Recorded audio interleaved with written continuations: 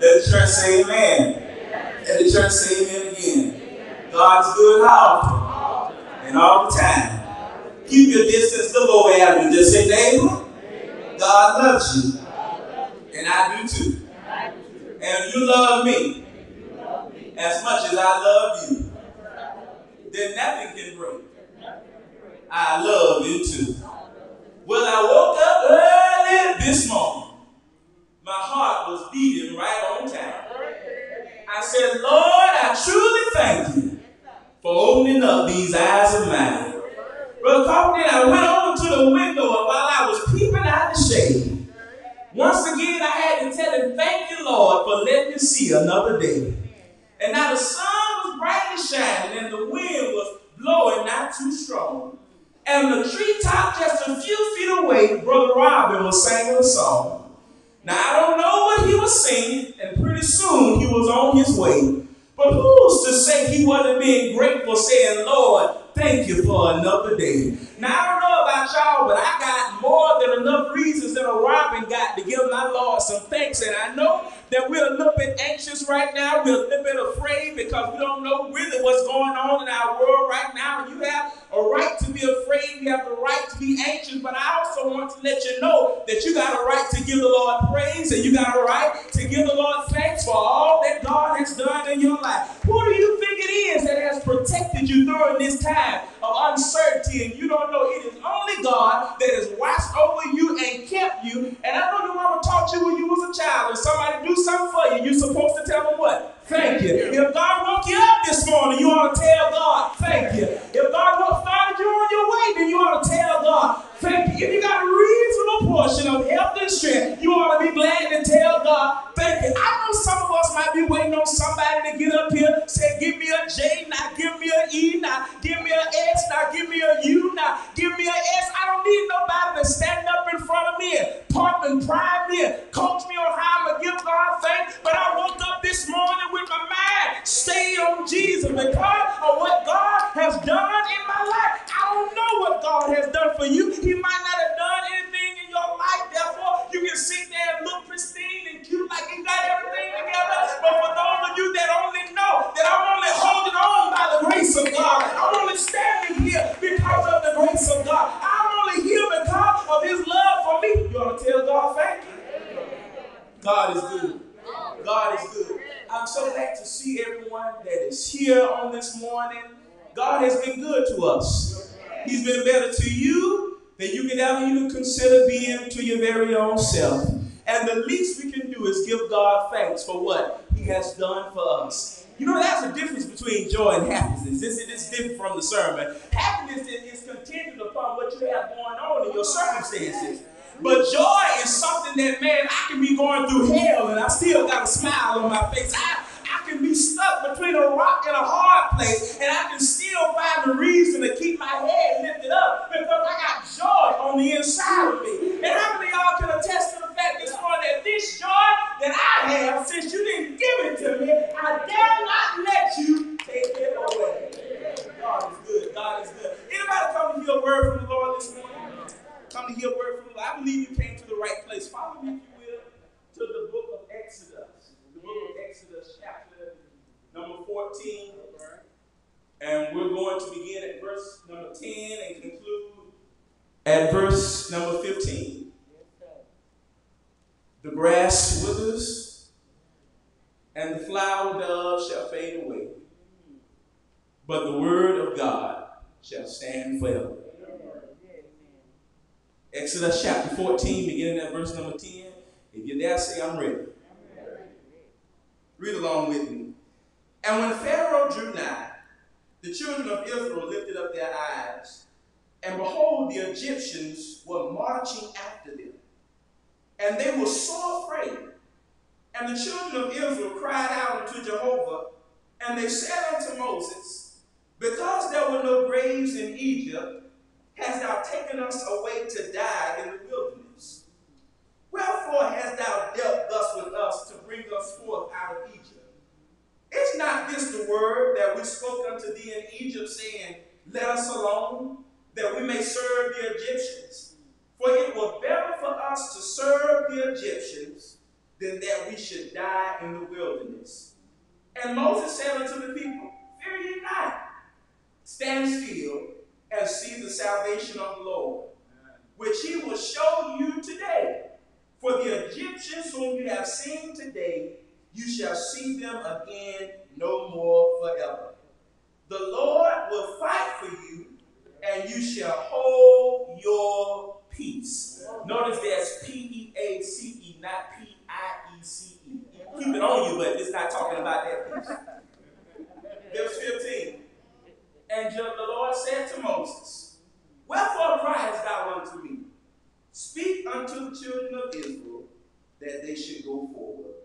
May the words of my mouth and the meditation of my heart, the Lord, be acceptable in thy sight. I want to talk about this morning something that all of us are acquainted with at some point in our life. When man was first put on this earth, man knew nothing about pain. Man knew nothing about sorrow. It was only after the fall of man that pain was introduced.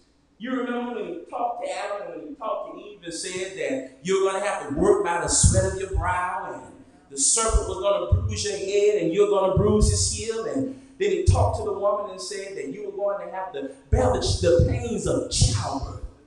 All of us are, are, are, acquainted with something that we call pain. So I want to talk about this morning the purpose in my pain. The purpose in my pain. Preacher, you mean to tell me there's a purpose for me experiencing pain? Yes, there's a purpose in it. I want to help you figure out that this morning. The purpose behind my pain. I would first of all have you know that pain is not all purpose in the pain is not always visible. It's not always something that you can see or something that you can grasp right out the bat. Problems are visible. Purpose is not always visible. The problem is Pharaoh is chasing me. That's the problem. The problem is that if he gets me back, he may kill me. The problem is I have left who I used to be to become what I want to be. And my past is chasing me but the purpose is in the chase. Y'all hear what I'm saying to you this See, see, what I want you to get right now is that there is a reason for you experiencing pain in this life. That is purpose in your problems. That there's purpose even in the storms that you experience in this life. You're looking at what happened, but God is looking at why it happened. And you'll never be able to praise God about the what until you can look at the why. I don't like what happened, but I trust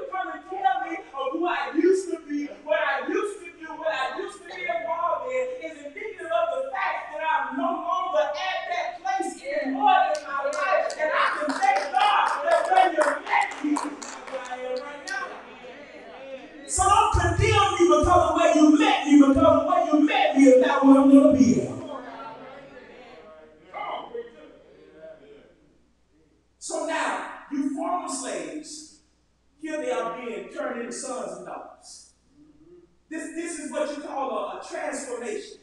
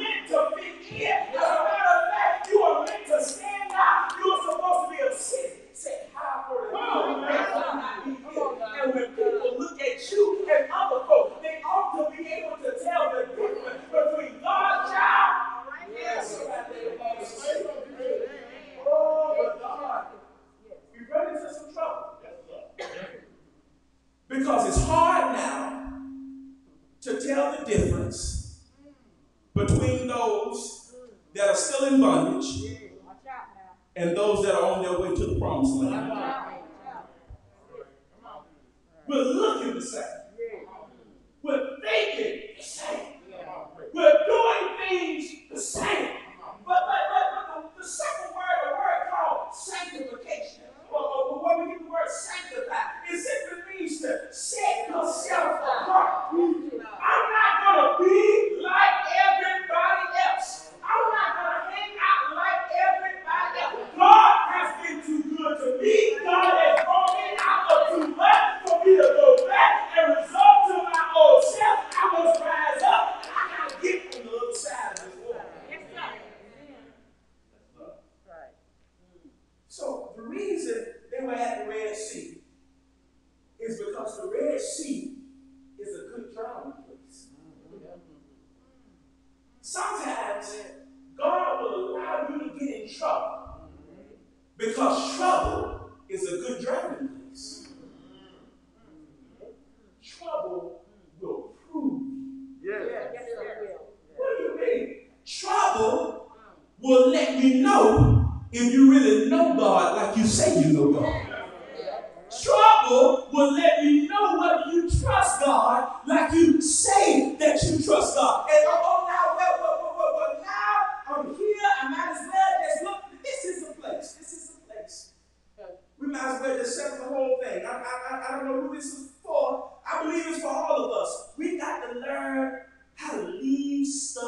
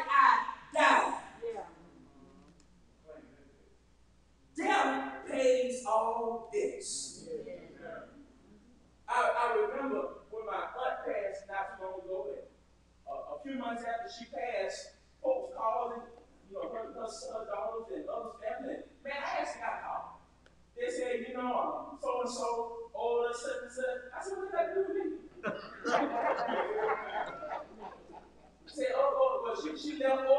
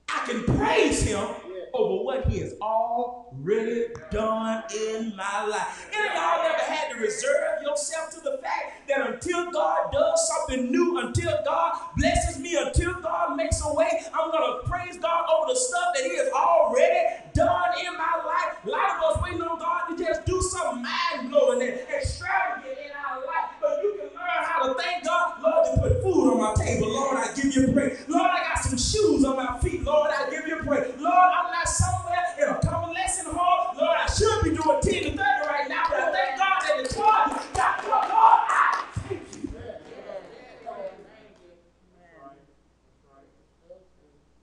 They would always refer back to this one thing. This is the place. This is the place where this happened. This is where this is where God gave us a foundation. This is where it happened. And all of us can point back right now. You don't even have to think that long to the place where God met you at the war. You was on the run, trying to get away. Enemy hot on your trail. But God took care of that. And the children of Israel were no different from us. They were worried and they were afraid because of their oppressor. We right now are worried and we are afraid because of COVID 19. We are worried and we are afraid because of social and systematic injustice that has been put upon a certain race of people in this country. We are, we are afraid and we are worried, but the same encouragement that God gave to the children of Israel is the same encouragement that He has given us today. I will fight for you. And you shall hold your peace. What do you mean? I don't have to worry. I don't have to get all excited. I don't have to worry myself into a fit. Man, I can sit back and wait. I'm gonna be like Kermit. I'm gonna sit on my tea until Jesus comes. I'm, I'm waiting. I'm waiting. I'm waiting. I'm waiting. I can sit here and I can wait because I know God to be a waymaker. I'm sure about that. Don't nobody tell me. I know what God is able to do. So, so I don't care who comes up and tells you anything or says you, you ought to read this book. You know, some, so many of us, we get woke right now. And, you know, all of a sudden, you know, Jesus ain't real. And all of a sudden, the Bible ain't real. And all of a sudden, we, we are the children of Israel. And all of a sudden, you know, we are descendants of this person. And all of a sudden, you know, we as a people are the only ones that are going together. And everybody else that God has created not welcome into the fold. But I, I can believe that because the very reason that Jesus sent Peter to the house of Cornelius was to show an example that not only Jews were to be accepted into the of Christ, but Gentiles were to be accepted into the body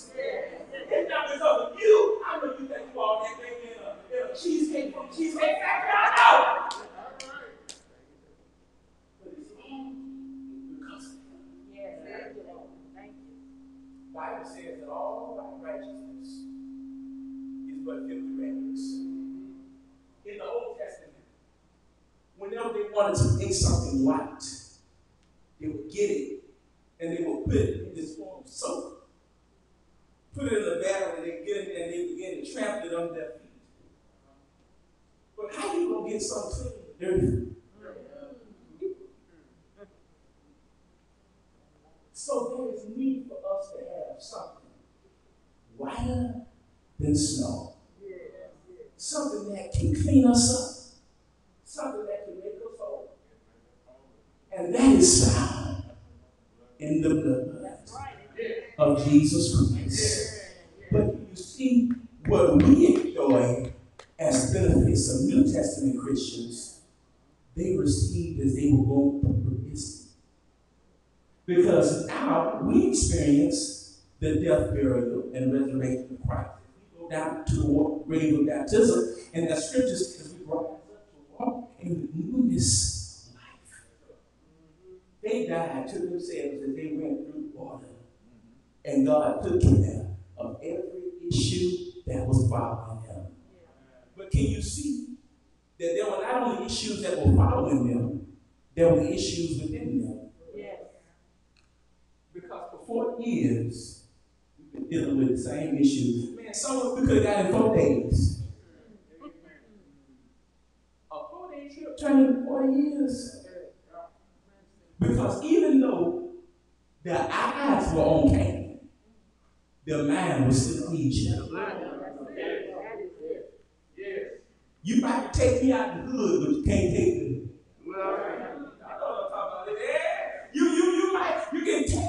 out of the environment, but a lot of times it's hard to get the environment out of the. So before you years, walk around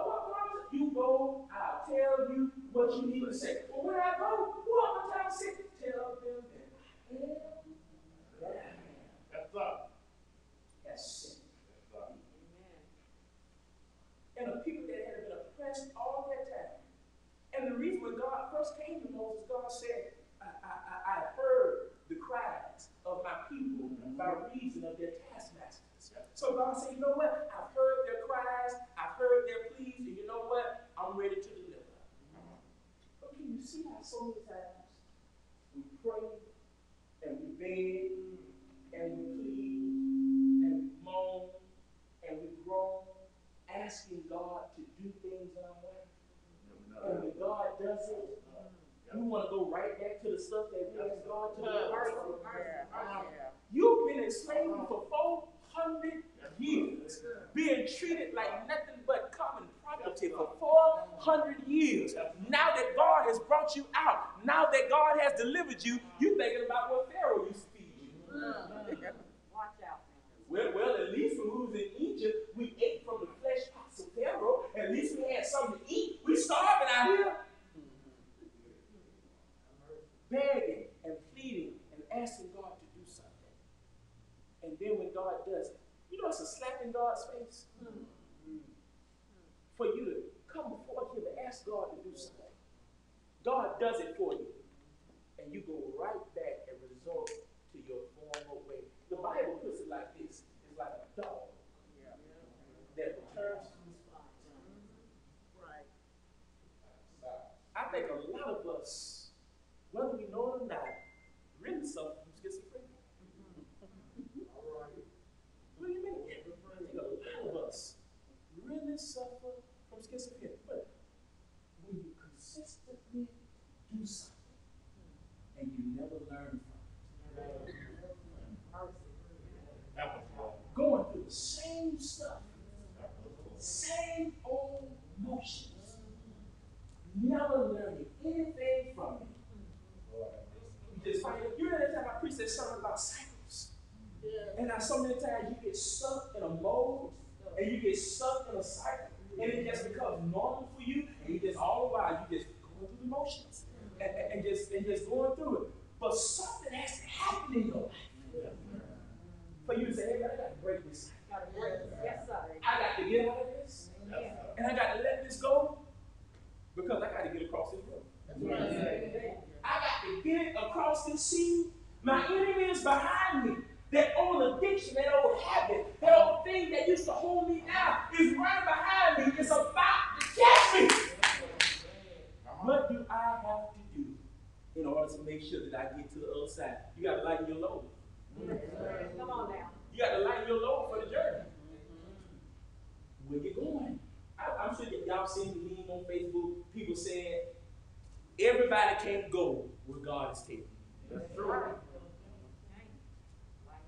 A lot of times we wonder why we move from environment to environment and things are the same. Who you took with you? On. Watch out. Not only who you took with you, what you took with you. How you gonna expect things to be different over here than they were over there? I mean, example. I'm fed up with them over there. I'm gonna go cross town. I'm gonna go over there with them. But you had a nasty attitude over here. You gonna take it over here. Come on now. You, you didn't want to talk to nobody over here.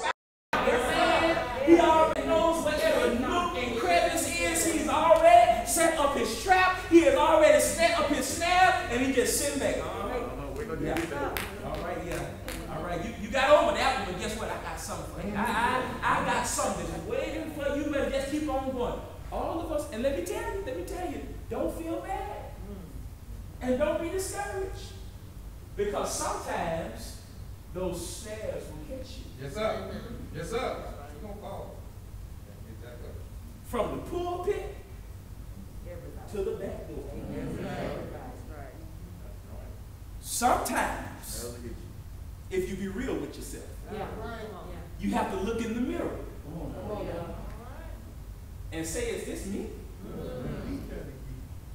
Like, what- what you got going on right now? Mm-hmm. You have to say self.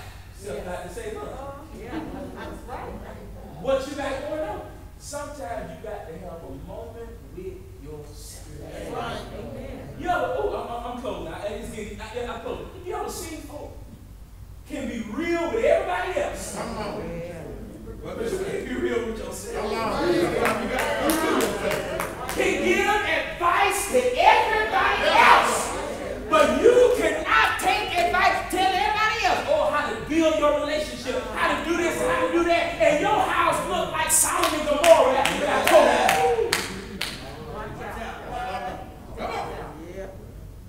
Time has been far spent. I'm getting ready to go somewhere. As a congregation, we're getting ready to go somewhere. Where we are right now is not where we will be Come on now. this time next year. Where we are right now is not where we will be in the future. As a body of believers collectively, we ought to be trying to do bigger and better and greater than we have ever done before. We can't say, well, we got here and this is as good as we can do. We just gonna sit right here. We just gonna rest and wait till Jesus to come. Now, that is not how it works. We ought to be ever trying to go higher and higher and higher. Because can I tell you, you don't serve a substandard God. Yeah, right. All right. We ought to be doing greater things. But can I tell you, we can only collectively move forward when each individual is all in. When each individual is head in, all in. Man, because I can be here, but my mind is somewhere else. Mm-hmm. I'm not really here. I'm not really making any kind of contribution. I'm not really any benefit if I'm here, but my mind is, man, did I turn the headphones off before I left the? Did I put my salt in the beans before I left the house? I'm going to do that. My mind, so many times, is elsewhere, and that's why you leave church and you get on the phone and say, I didn't get it out of service today. Yeah, Watch out. Watch out. If you don't put nothing in, how you gonna get something out? You got to bring your own motivation. I man, every time I come into God's house, I get something. I get something that I can leave here and say, you know what? My life has been made better because of the word of the Lord. But my brother and my sister, if you're here today, if you're here today, all of us have had experiences with some Red Sea moments in our life. All of us have come to a place, have come to a point in our life where we knew in of ourselves, I can't get to the other side. It was needful for God to come and help and assist us mm-hmm. in order for us to get to where we need to be. Can I tell you, even right now, even if you're not experiencing anything in your life right now, you're going to experience some storms in your life. Can I tell you what will get you there through that?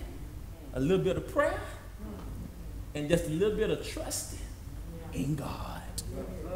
trust that even when I don't understand, it's all working out for my good and for His glory. Man, I'm God's child. I'm His. He loves me. He's looking out for me. And I know He'll prepare a way for me. My brother, my sister, if you're here today and you're standing in the need of prayer, that, that, that ought to be all of us. But if you're standing in the need of prayer, we welcome you to come this morning and, and ask for prayer for the various requests that you have. The scripture still says that the prayers of the righteous, they availeth much. I'll be the first to say, pray for me. As your minister, pray for me. As a young black man in America, pray for me. As a sinner saved by the grace of God, pray for me. I will ask once again, as they have already asked, pray for your elders, pray for your deacons, those that are in positions of leadership. Because you think the devil after you, he hounding them down. Keep them in your prayer and let us pray for one another. If you come here this morning and you are not a child of God, you have not yet had your sins washed away by the blood of the Lamb. If at this moment you stand a guilty distance away from God, don't leave here today without making the decision to make Jesus the Lord of your life. Circumstances, trials draw us nearer to God. We can see over these past few months as we've been going through this pandemic that trials and uncertainty and fear drives people to a place to where they say, hey, man, God, I need you. God, I need your help. God, I need you to make a way. He has already made a way for you before the very foundations of the world. He has made a way for you and for your soul to escape the penalty of sin. But if you remain faithful unto him until death, you can receive a crown of life that will never fade away. So, my brother, my sister, if you're here today, come to Jesus this morning. Come hear in his word. Romans chapter 10, verse number 17 says, So then, faith cometh by hearing, hearing by the word of God. After hearing that word, you must believe the same. He said, Except that you believe that I am He, you shall die in your sins. After belief, one must repent of their sins. What is repentance? Repentance is a change within your mind that produces a change in your action. And after repentance with your mouth, you confess the sweetest name known to mortal tongue, and that is that Jesus Christ is the Son of the living God. And after confession, you are willing to be baptized in the watery grave of baptism. Have your sins washed away, eradicated, done away with, never to come up before you in this life and neither the life that is to come. And according to Acts chapter 2 and verse number 47, praising God and having favor with all the people, and the Lord Himself added to the church daily such as should be saved. You ain't got to wait on no board of folk to vote as to whether or not you can become a candidate for baptism. You ain't got to wait till the first Sunday, which will, will, will be a baptismal Sunday, but whosoever will, you can come on. You ain't got to wait till a certain Sunday. You ain't got to wait till a certain day. You can come to Jesus today, and the Lord will add you to his body. If you're here today and you're subject to the invitation, we beg and we plead with you. Why not make the decision to come to Jesus now as together we stand and sing the song of invitation?